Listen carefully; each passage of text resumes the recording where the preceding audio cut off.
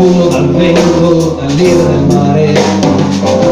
Ma ecco che un giorno compare un campione, legato ad un turbine e tutti a gridare, nome solo, potrebbe.